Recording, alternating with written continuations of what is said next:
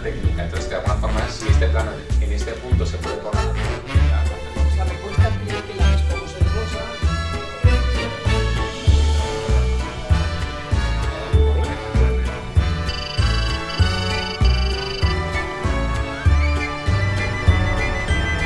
Ilion, este estudio de animación, es como el sueño, ¿no? Cuando tienes el guion y imaginas la película, ya imaginas ya los personajes moviéndose y brillando y reflejando la luz, pues dices, con- en- ¿cuáles son las mejores manos en las que, en las que me podría poner? Bolas cachas. Y cuando, cuando ya Javier vino y nos enseñó un poco el proyecto y las animáticas, el story, vi que la película era eh, alucinante. Entonces, este es un chiste muy gracioso, pero Pero no, pero te te hace ni puta gracia.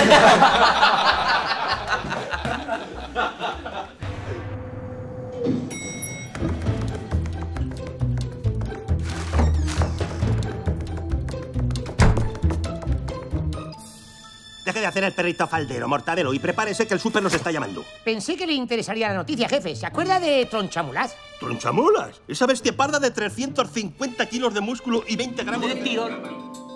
Ha sido, creo, bonito el proceso ese dentro del estudio, eh, en su relación concretamente conmigo, con un director que no viene de la animación, en donde creo que hemos, eh, hemos iniciado el proceso con, con los lógicos recelos de nos entenderá este tipo, no nos entenderá, nos hará eh, trabajar en balde 800.000 veces, habrá que repetir las cosas, no nos... Bueno, Yo creo que la unión de- del talento de Javi Fesser eh, con los talentos de, de Ilion, es decir, una combinación de capacidad narrativa, de humor explosivo, con conocimiento tecnológico. Estamos hablando de un equipo que funciona como un reloj y que es- todos se conocen y que es un perfil muy curioso porque es una es una es el perfil de artistas con un altísimo conocimiento técnico, pero muy artistas. Pues usted primero, que para eso es el jefe. ¡Por eso mismo! ¡Usted tiene que llegar el primero para inspeccionar el terreno! ¡Haga algo, mortadelo! Eh, este plano seguramente les molaría hacerles entrar en cuadro, quizás, en lugar de tenerlo yo ahí. Pero el primer término me, me parece interesante. ¿Por qué no, por qué no probamos a hacer, mira, est- esto que has hecho y hacemos un travelín muy despacito hacia la derecha? Perspectiva. tirarlo, ¿no? Porque no, no ahí, ahí, no, no más, para que sea despacito. Con el acento de blandus, pues estamos en la, en la fase de, de layout, de previsualización. Y en esta fase lo que hacemos es el primer traslado a 3D del, del storyboard. En el storyboard ya está definida la puesta en escena, están definidas las, las cámaras, los encuadres, pero ahora hay que solucionar la puesta en escena real con objetos reales que tienen su dimensión, con, con los decorados en su escala exacta y es ahí donde te encuentras los problemas que te encuentras en un rodaje. Eh, porque un personaje se enfila al otro, porque una pared no te deja desplazar la cámara hasta donde te gustaría mm, colocarla y es realmente una fase deliciosa porque es un juguete para cualquier realizador. Es donde fabricas realmente la película, la parte narrativa de la película, donde, donde la estás montando a la vez. Y es, una, es un momento estupendo para, para jugar con distintas posibilidades, para jugar con distintos ángulos, con, con- ver la misma acción con lentes diferentes, con la cámara quieta, con la cámara moviéndose. Ya sé, es el 35, tío. ¿Qué hace un 35 ahí? Pero, tío, de verdad.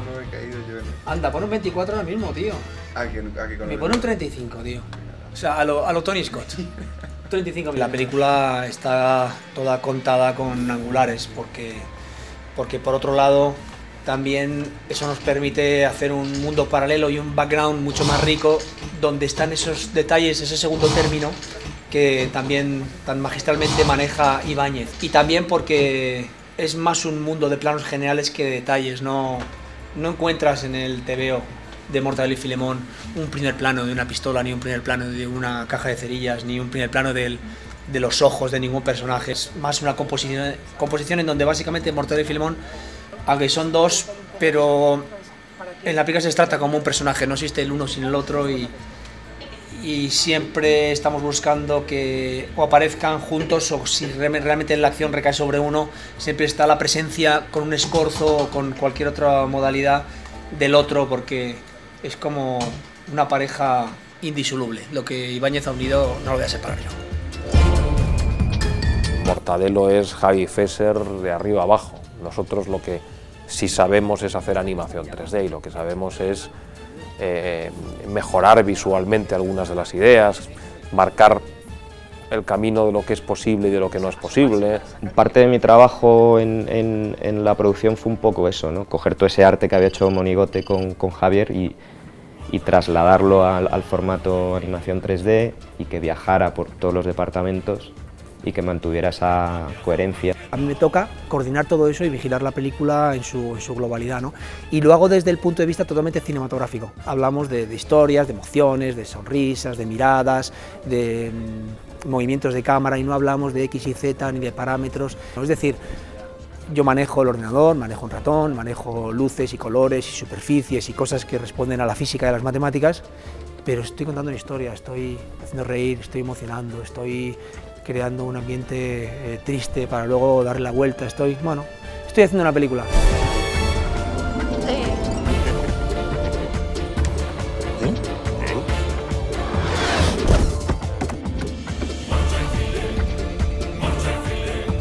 Luego he visto durante casi año y medio a animadores dándole vida a un personaje, es decir, interpretando. Y además es una forma de interpretar en donde hay un, una capacidad de observación infinita, porque claro, tú como actor puedes decir, bueno, yo me voy a levantar de la cama, estoy mareado porque me acaban me acaba de pasar un tanque por encima, estoy un poquito mareado. Entonces, un actor, eso pues ya sabe que se levanta groggy y más o menos tiene sus, su trabajo para, para, para levantarse de esa manera, ¿no? Pero un animador encima tiene que saber cosas que tú ya das por hecho, que es cómo coloco la mano para incorporarme, cómo coloco el pie, cómo coloco la rodilla, como es decir, todo tiene que moverse y todo, todo, todo, mm, parte quieto, todo empieza quieto, así que si tú no mueves una oreja, la oreja no se va a mover. Y eso tiene un trabajo de interpretación en donde los, en donde los animadores, una de las cosas que hacen, que es un, proceso muy, muy gracioso, es grabarse a sí mismos, ¿no? Y, y sacar esa parte de payaso fundamental que tienes que tener para, para, para probar, para investigar y más en una película de este tipo en donde nadie puede levantarse de una silla sin más. Uno, no se puede en esta película concebir que un tipo eh, se meta en un coche sin tropezarse o sin darse un pequeño golpe, por lo menos en la frente, al entrar. Y luego los cómics, hay tanta información en los cómics que a nivel de poses de las manos, Ibáñez siempre hace unas manos muy, muy peculiares cuando hay impactos que intentamos trasladarlo. Yo creo que eso ha sido lo que más hemos utilizado. Este el material controlado. Este departamento de animación, cada uno de estos animadores y animadoras están trabajando con un plano. Oye, os, admiro. Pensar, pensar, admirarme un poco a mí, que todo lo que hacéis vosotros tengo que hacerlo yo solo. ¿Cómo te gustaría dibujar así de rápido? Esto es una escena construida en tres meses.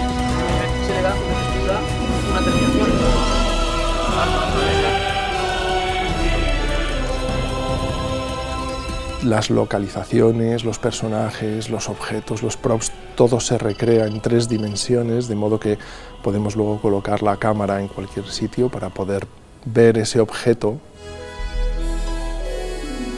El departamento de efectos especiales es uno más de, todos los que existen en, un estudio de producción de animación. Mi rol va un poco más allá, es cierto que se llama supervisor de efectos visuales, va un poco más, es más un acompañante del director, para intentar entender sus intenciones creativas y buscar las técnicas digitales que permitan eh, plasmar eso en un, fotograma, ¿vale? ya sea la iluminación trabajando con el director de fotografía, ya sean los efectos especiales trabajando con el equipo de efectos especiales, ya sea el comportamiento de las superficies a la luz, ya sea cómo construimos de una forma sencilla una ciudad en la que estamos volando y tenemos que representarla de una forma eficiente. Cuando ruedas una película lo que tienes que hacer es eliminar y sustituir elementos y cuando eh, haces una animación tienes que crearlo todo, ¿vale? Y eso incluye el mundo.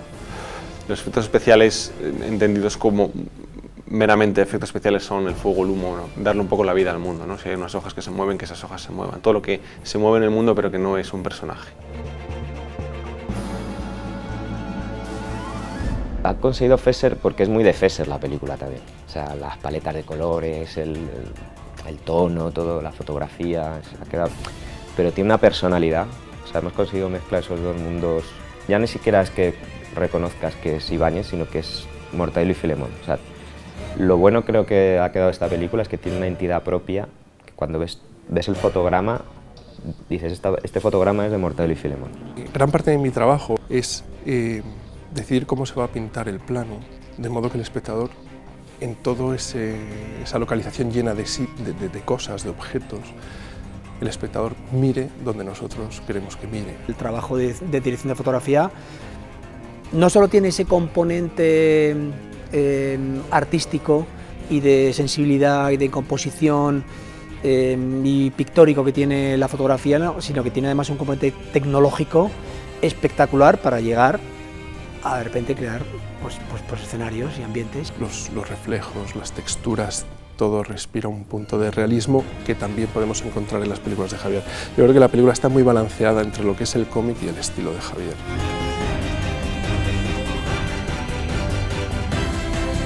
Hemos conseguido ya dar una película que en luz y en color tiene un carácter propio.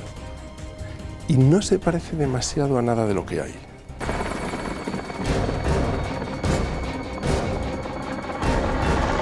¿Lo ve cómo no? ¡Necesitamos velocidad más! ¿A qué se refiere? ¡Necesitamos más velocidad! ¡Ojalá, ojalá, ojalá! Ojalá, ojalá, ojalá, como que es tan fácil.